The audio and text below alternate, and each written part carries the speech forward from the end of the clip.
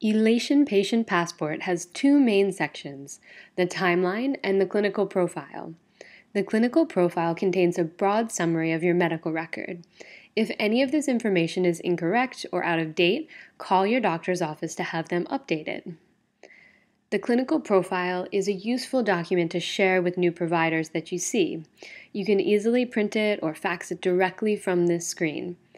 To fax your profile, simply enter the destination fax number and click Send. Your timeline is a chronological list of messages from your doctor and summaries of each visit that you've had with your doctor. Visit summaries are shared with you automatically after each time you see your doctor. Click your username in the upper right hand corner to navigate to a page of frequently asked questions about Passport. Quickly contact Elation support if you need help, or change your preferred contact method for receiving notifications about new messages and visit summaries in Passport.